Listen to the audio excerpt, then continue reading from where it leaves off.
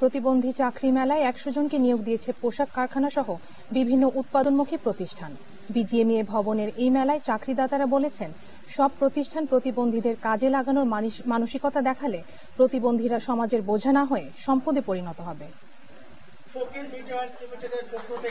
বুদ্ধি প্রতিবন্ধী আব্বাস উদ্দিন তারেক নারায়ণগঞ্জের ফতুল্লার তৈরি পোশাক কারখানা ফকির নিটয়ারে রক্ষণাবেক্ষণ সহকারী পদে নিয়োগপত্র পেয়েছেন। প্রতিবন্ধিতাকে জয় করে টিকে থাকার সংগ্রামে সবচেয়ে বেশি সহযোগিতা পেয়েছেন মায়ের কাছে। তাই চাকরি পাওয়ার খবরটা প্রথমে মাকেই দিলেন তারেক। আরে মা, চাকরি আলোর মধ্যে হয়ে গেছে। নয় চিন্তা স্নেহ চোখে আদরের চোখে তাকে সবসময় বলি বাবা এটা কর এটা কর এটা কর। কারণ এই সমস্ত ছেলেদেরকে যদি রাগ বেড়ে কিছু বলে তো তারা মানে না। সেগুলো তারা মানতে চায় না।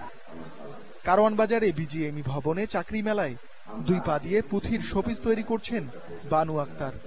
দুই হাত না থাকলেও আয়ত্ত করেছেন সেলাইয়ের কাজ। সামলে নিচ্ছেন স্বামী সন্তান সংসার।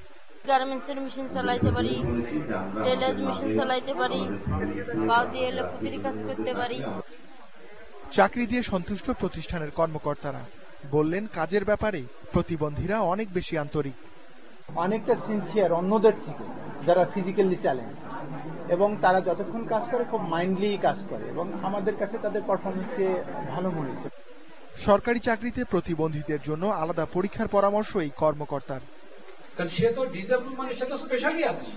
সে কোনো একটি কাজ খুব ভালো জানে। তারপর তার ওই কাজের স্বীকৃতি দেওয়ার কোনো পথ আমরা বের করেছি কিনা আমি সরকারি কর্মচারী হিসেবে আমার মনে হচ্ছে আমরা করি নাই। রপ্তানিমুখী কারখানায় প্রতিবন্ধীদের নিয়োগ ক্রেতাদের ইতিবাচক ধারণা দেয়। তাই চাকরিদাতা প্রতিষ্ঠানকে কর সুবিধা দেওয়ার দাবি জানান আয়োজকরা। Ruhul Amin independent news Dhaka. অর্থনীতি স্বাধীন একটি বিরতি নিচ্ছে আমাদের সাথেই থাকুন।